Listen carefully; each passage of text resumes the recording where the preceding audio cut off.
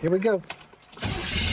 Earl Glines was 22 years old when he bought his dream car, a 1967 Chevrolet Camaro. It was blue with uh, white stripes.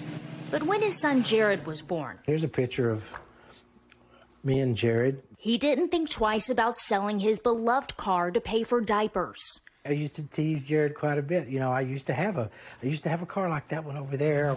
You know, you, you needed diapers, and so that was that's what happened to that car. I thought he was full of it. Like, mm-hmm, I used to have a Camaro. It was like the guy at the at the bar talking about the high school championship from 20 years ago or something. For more than 40 years, that Camaro was part of the family's fabric of stories, which Jared heard time and time again. It's a 1967 Marina Blue Camaro SS with a 350 small block V8, an automatic three-speed transmission. Jared knew his dad loved that car, and so he set out to find it. I wanted to begin the quest to get my dad's car back. It took years to find a similar model and fix it up. But this year, on his dad's 65th birthday, Jared shared his surprise, decades in the making.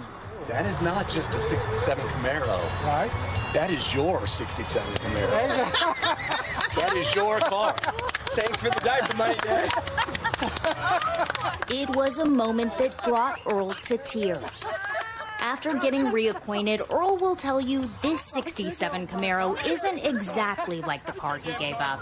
It's better. Wanting dad to really understand how much I love him and how important he is to me. I'm like, what is the greatest thing possible? And it's the Camaro. It was always going to be the Camaro.